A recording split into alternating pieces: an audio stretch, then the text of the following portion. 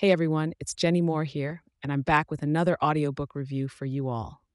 Today I'll be sharing my thoughts on Buster Keaton, A Filmmaker's Life by James Curtis, narrated by David Pittu. First of all, let me just say that this audiobook was a real treat for any film buff or fan of classic Hollywood. James Curtis takes us on a journey through the life and career of one of the greatest silent film stars, Buster Keaton.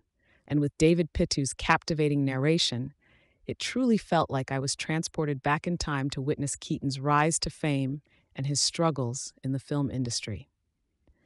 Curtis does a fantastic job of painting a vivid picture of Keaton's life, from his childhood in vaudeville to his iconic films like The General and Steamboat Bill Jr.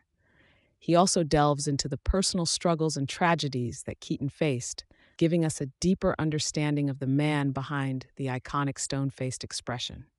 What I loved most about this audiobook was the way it seamlessly weaved together Keaton's personal life and his career. It was a well rounded and comprehensive look at the man who revolutionized the world of comedy and filmmaking.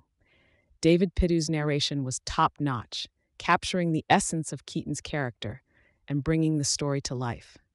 His delivery was engaging and kept me hooked from start to finish. Overall, Buster Keaton, A Filmmaker's Life, is a must listen for anyone interested in the golden age of Hollywood and the life of one of its greatest stars. So, if you're a fan of biographies or just looking for a captivating audiobook, I highly recommend giving this one a listen.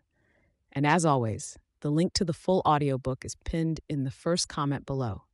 So be sure to check it out. Thank you all for watching, and I'll see you in my next review. Happy listening.